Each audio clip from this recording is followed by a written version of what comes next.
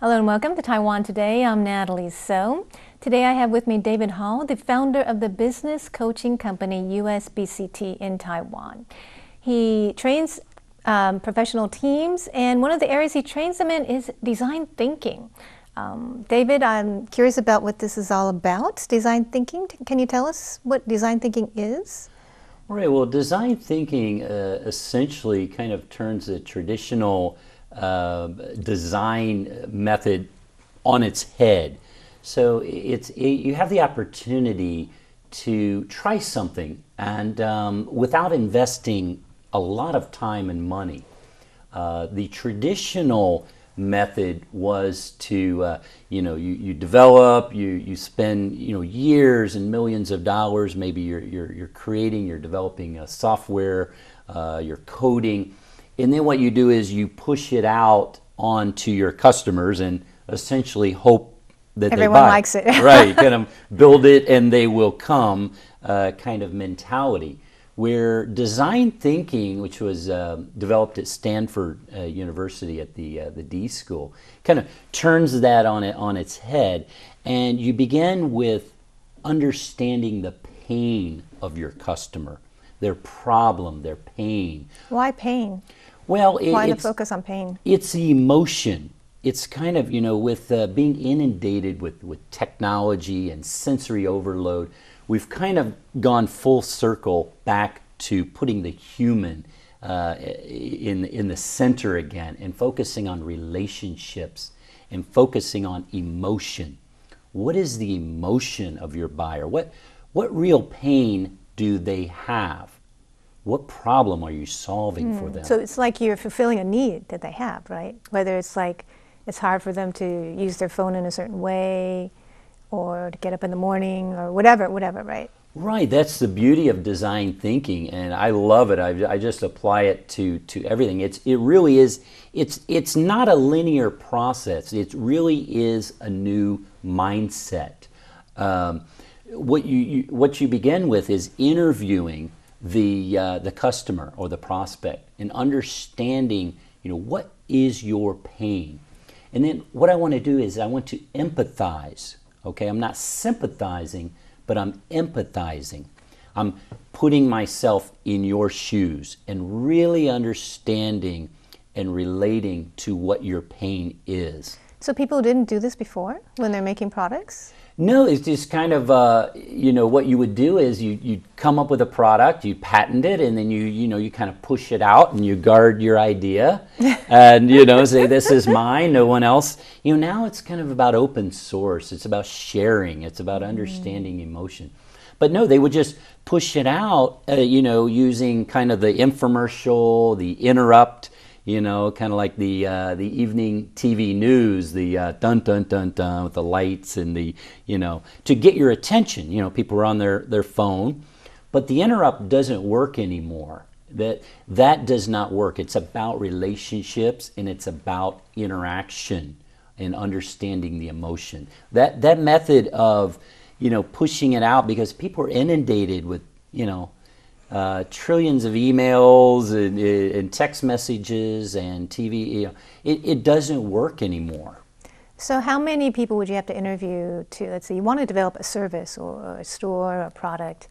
You'd have to interview 100, 50? Or what would you say? Is it? There's, you know, number? it depends if it's, you know, B2B would be less, um, B2C, uh, you know, it might be more. Um, and you want to talk to them personally. It's called, you know, we say get out of the building. Uh, talk to, it doesn't mean sending out surveys. Mm. Uh, it means getting out and talking to people personally. If it's B2B, um, it's going to be fewer. So it could be 20, 30, something like that. If it's B2C, you might want to talk to 100 people. The more, the better.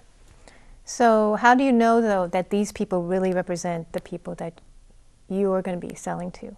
What if they all have this, you know, certain weird idiosyncrasies that don't really matter to or service? exactly. Well, maybe skewed, we say, and uh, right, your results may be skewed. Well, you want to focus on your your customer segment uh, as much as you can, your your primary customer. So you want to identify them uh, as best you can. You may find out that may change.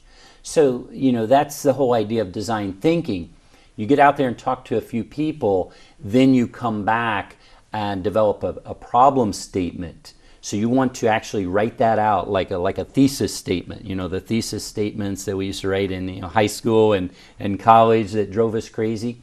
Well, you need, it kind of forces you to put it in one problem mm. statement. You know, what is their problem? And then you can begin to, you know, prototype and, and test. But it's kind of back and forth, back and forth until you get it right. So this is something you do for new companies? It can be new companies and it can be established companies. Um, Harvard Business Review did an entire issue uh, a couple months ago on design thinking. And uh, they say it's not just for products anymore, and it's not just for startups. Uh, it's for services, and it's for uh, corporations, and it's for anyone in the corporation.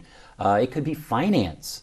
Um, if there's a customer touch point, if uh, they're sending out, uh, if finance is sending a bill out to a customer, that's a customer touch point, and that's an opportunity to use design thinking.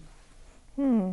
And do you um, work with a lot of companies in Taiwan about this design thinking? We're seeing more and more. Um, this year alone, uh, uh, a lot of universities, uh, well, several universities, NTU has added, uh, I believe, if I'm not mistaken, has added uh, design thinking to their curriculum. That's interesting. right, and uh, we're seeing it more and more, and companies are calling us. We've done several workshops, and we're seeing a more and more demand for design thinking because now companies need to develop their own products and services and they need design thinking to do it.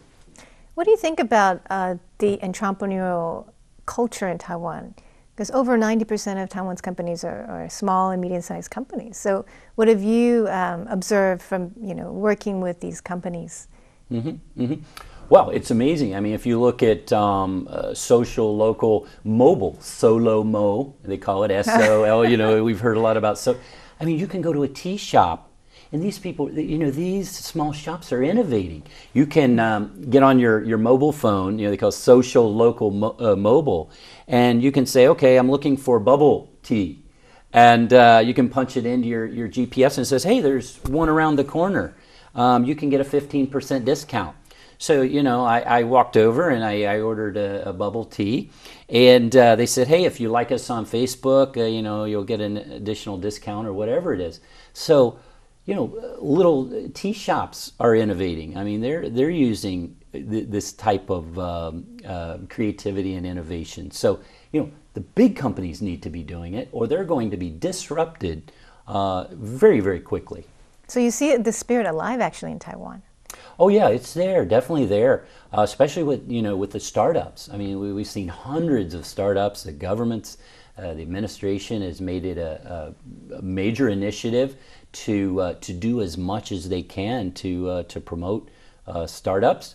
I mean, we need to see more uh, intrapreneurship. We've seen entrepreneurship, but in the the bigger companies, we need to see more intrapreneurship, and we're developing uh, a kind of a back and forth, uh, what's called an EIR. It's an entrepreneur in residence where entrepreneurs can go into companies and they can uh, kind of spread that idea of entrepreneurship and uh, companies can invest in startups and executives can be mentors of startups so they're not uh, you know they're not islands uh, they should be working together and it, it applies to to both small companies uh, SMEs, startups, and large corporations. Mm. And I know you've coached a lot of startups to help them be successful. What would you say is a key to a successful startup? Well, uh, I, I, helped build uh, 10 startups of my own uh, during my career, and I've been a, uh, a, startup mentor, startup weekend judge. Uh, I was part of the Mayor, uh, Mayor KP's Angel Committee to talk about how we can promote startups in Taiwan and how we can attract global startups to Taiwan. So this has been a major initiative of the the administration to attract uh, you know tens of thousands of uh, foreign white collar workers, to attract hundreds of startup companies. Uh, And I believe that um, a lot of the startup companies here are thinking too small. We need big dreams, mm. we need big visions. It needs to be uh, scalable and global and sustainable. And I think that's what is going to make uh, Taiwan startups successful. Well, what do you mean by big visions? Like that we can be the best in, in Taiwan in, in this particular service? Or what do you, can you define what you mean by thinking big? I think they need to um, really. What we do is, and, and we work uh, with startups, uh, coaching, mentoring. We have a, a, startup incubator, and we work with uh, startups really the same as executive, uh, our executive coaching to bring out you know their inner core values and to develop that vision because they need to look deep inside themselves. It's not something you just come up with a dream and come up with a vision. You have to really do some soul searching to find out what are you know why do you do what you do? What is your you know real purpose? Why are you really doing it? You know and that takes some time to to get that out but that's what you need so why is that so key? Is it because it gives you the drive and determination to figure out how to succeed, or why is it getting that uh, deep um, sense of motivation so well, key? Well, absolutely. I mean, that's what's going to sustain you through those tough times. There's the uh, what's called the uh, the the uh, curve of uh, change where you know you begin a project and it's you know it's uninformed optimism. It's like you know I'm, I'm really excited, I'm doing this, and then it kind of reality sets in. We call it informed pessimism, and then you're you're down here in the valley, what's called the valley of despair. You know, and uh, that's what gets you through, right? Mm. So you need that vision, you need that purpose to get you through and see, okay, I can make it, I can be successful. Mm.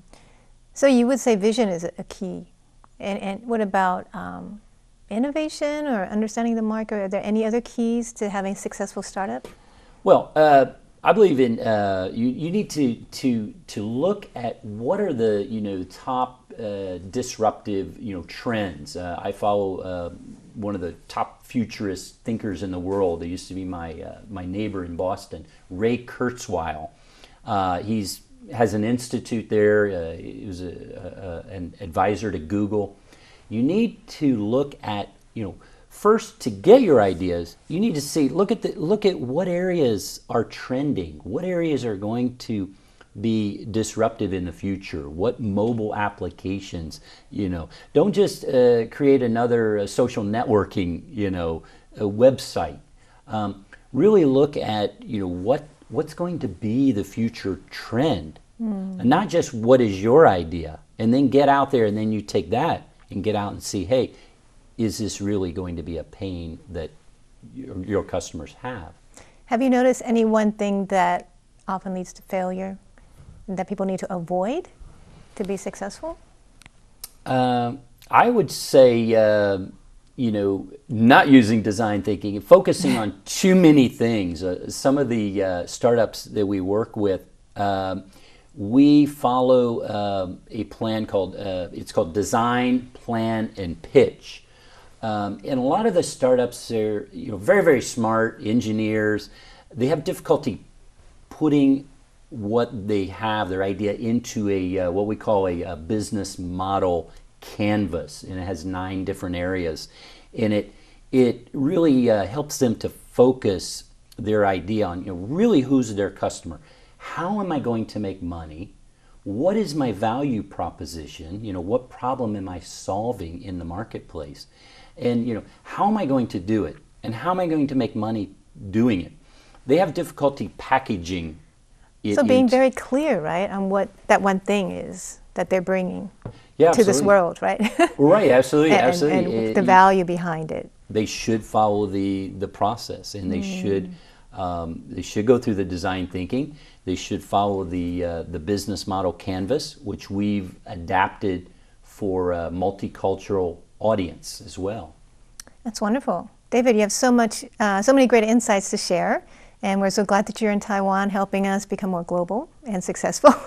well, I appreciate, I appreciate you having you. We're, we're, having a, we're taking another group to uh, Silicon Valley in uh, March. We have a group there now.